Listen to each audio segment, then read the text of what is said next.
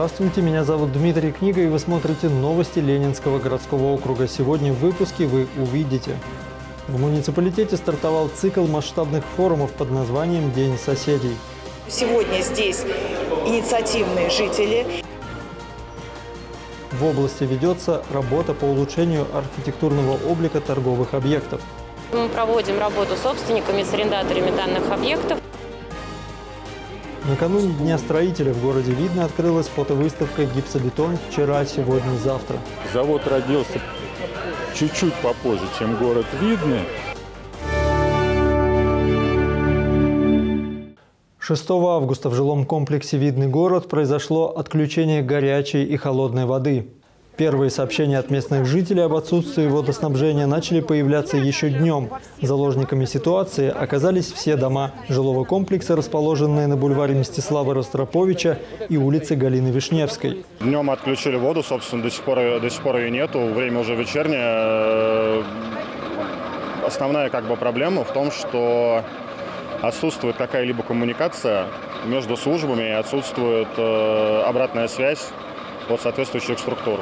По предварительным данным, генеральным подрядчиком Фондом развития территорий по непонятным причинам была приостановлена работа водораспределительного узла. Чтобы разобраться в ситуации, на место приехали представители администрации муниципалитета и сотрудники Видновского ПТО ГХ. Вот как только запустят воду, я пойму, что у вас все нормально и вода уже поступает, значит, с этого момента я сочту возможным отсюда уехать. В результате переговоров в 21 час доступ к водораспределительному узлу был предоставлен. В присутствии местных жителей и активистов специалисты переключили запорную арматуру на вводных водопроводных камерах и подача воды была быстро восстановлена в штатном режиме во всех квартирах жилого комплекса. Мы очень надеемся, что впредь такого не произойдет. Мы в непосредственном контакте руководства округа и с Фондом развития территории, и непосредственно с застройщиком, а, соответственно, с подрядчиком фонда, скажем так, кто ведет дострой этого микрорайона. И, а, опять-таки мы подключаем прокуратуру, потому что прекрасно понимаем, что жители нашего городского округа не должны оказываться в подобного рода ситуации. По поручению губернатора Московской области Андрея Воробьева в регионе ведется масштабная работа по улучшению архитектурного облика торговых объектов. Особенное внимание уделяется павильонам, расположенным вдоль автомобильных дорог. Заместитель главы Ленинского городского округа Виктория Морозова проверила ход работ по приведению к единому стандарту торговых точек в деревне Опаренки. В связи с тем, что внешний вид торговых объектов на данном участке не соответствует необходимым требованиям, в ходе встречи вместе с предпринимателями представители администрации округа обсудили стандарты оформления магазинов и дальнейшую работу по демонтажу зданий. К сожалению, не все объекты у нас красивые, опрятные, поэтому проводим работу с собственниками, с арендаторами данных объектов, чтобы они все-таки выполнили эту работу. Необходимо паспорт объекта подготовить и, соответственно, согласовать а, колористику данного объекта. Все это, когда проходит на комиссии а, в администрации, соответственно, на рабочей группе. А далее уже собственники приступают к реализации данного проекта. Некоторые собственники уже привели в порядок свои торговые точки и благоустроили близлежащую территорию. Другие владельцы еще в процессе переоформления своих объектов. То есть вы будете устанавливать абсолютно новый объект? И какие, какие сроки? Планировали до конца.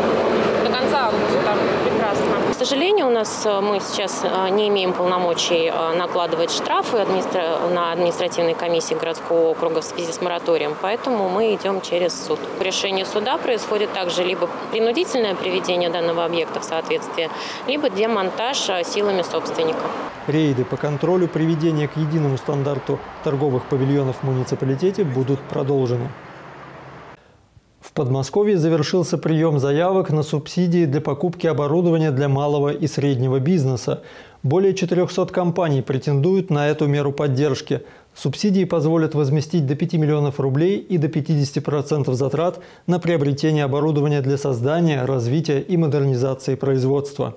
С 1 августа в регионе запустили две новые программы поддержки. Субсидии для социальных предприятий до 2 миллионов рублей на аренду, ремонт, коммунальные платежи и оборудование с компенсацией до 85%.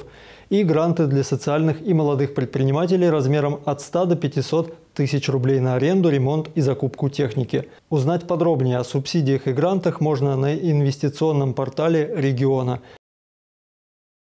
В Ленинском городском округе стартовал цикл масштабных форумов под названием «День соседей». Первая встреча прошла в поселке Развилка, которую посетили более 300 жителей. Подробнее о мероприятии в нашем сюжете. За последние два месяца в муниципалитете прошло более 100 дворовых собраний. В ходе таких мероприятий активные жители обсуждали темы от жилищно-коммунальных услуг до здравоохранения. На форуме «День соседей» собравшиеся обсудили готовые проекты по улучшению городской среды. Сегодня здесь инициативные жители. Сегодня здесь мы, кто готов эти инициативы брать в работу и исполнять. И очень внимательно прислушиваемся именно к очередности реализации данных инициатив. На мероприятии присутствовали представители Совета депутатов Ленинского округа, управляющих компаний и коммунальных служб, а также гражданские активисты Олег Тихонов и Дмитрий Банченко.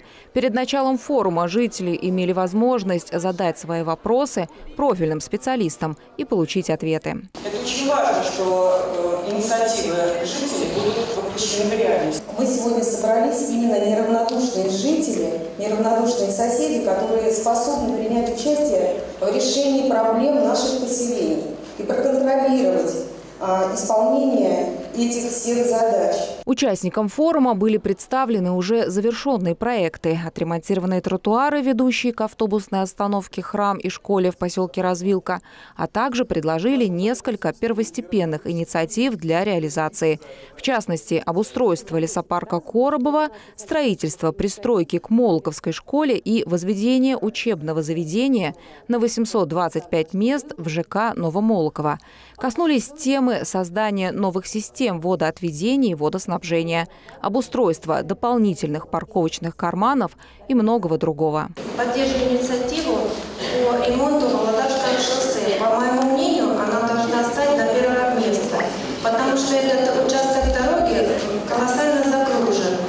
И там пробки большие. Мы часами можем поставить пробка, поэтому если дорога будет расширена, то будет быстрее доберемся до работы и домой, и комфортно. На собрании жители выбрали инициативы, которые будут реализованы в ближайшее время. Результаты голосования первого форума «День соседей» будут опубликованы в домовых чатах поселка. Наталья Буслаева, Александр Логинов, Максим Константинов. Видное ТВ. Медицина становится доступнее, а оснащение медицинских учреждений обновляется и модернизируется. В Видновской клинической больнице введено в работу оборудование нового поколения. Какие возможности теперь есть у врачей и как обследуются пациенты, узнала Инга Янчук. Медицинское оснащение Видновской клинической больницы продолжает обновляться. В этот раз 105 единиц нового оборудования получило отделение восстановительного лечения. Новые аппараты по лазеротерапии, ультразвуковой терапии, по электрофорезу, потокам, по электростимуляции. Снимаем постоперационные воспалительные изменения, отеки, снимаем боль, Помогаем быстрее восстановиться человеку и выписаться домой. Новое оборудование многофункциональное и позволяет одновременно проводить несколько процедур как одному пациенту, так и двум. Ахиллодиния, болезнь Бехтерева. Пациенты разные, неврологические, травматологические приходят. А, особенно педиатрия тоже нас любит. То есть гемартроз. Тут очень много всего. Также в кабинете для электросветолечения установлен новый аппарат, который выполняет 8 программ и нацелен на разные виды процедур. Но основными функциями являются лимфодренаж и пневмомассаж. Он может делать как обычный массаж, физиологический массаж. То есть показаний очень много, аппарат замечательный. Слава богу, у нас вот он новый, тоже мы его получили. И он на самом деле востребованный. Светлане Масловой назначили лимфодренажные процедуры. Девушка отмечает, приятная легкость в теле ощущается с первых секунд. Впечатления очень интересные, необычные. Такое давление создается внутри вот этого костюма по всему телу попеременно, благодаря чему снимается усталость, разгоняется лимфа. Ну, очень, очень приятное ощущение. Одному из пациентов кабинета лечебной физической культуры требовалась разработка суставов ноги после перенесенной травмы. Для этого ему был назначен нестандартный вид лечения в игровой форме.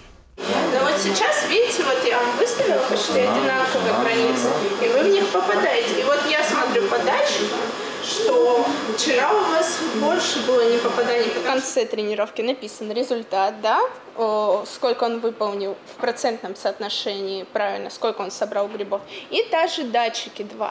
Ему, чтобы собирать эти грибы, нужно э, попадать вот в те границы между красными линиями. Если он не будет попадать, вот сейчас он не попадает, у него грибочек не собирается. А пока пациент увлечен игрой, разрабатывая стопу, врач фиксирует качество ходьбы и следит за показателями. Описаны значения э, различия. То есть 0,1 это незначительное, потому что у нас физиологически как бы мы не одинаково идем. Вот, мы как раз пациентам тренировали то, что у него страдает, это период опоры. Теперь лечение стало не только эффективнее, но и интереснее. Физиотерапевтическое оборудование также активно используется в амбулаториях и в детской поликлинике Ленинского округа. Инга Инчук, Александр Логинов, Ольга Садовская. Видное ТВ.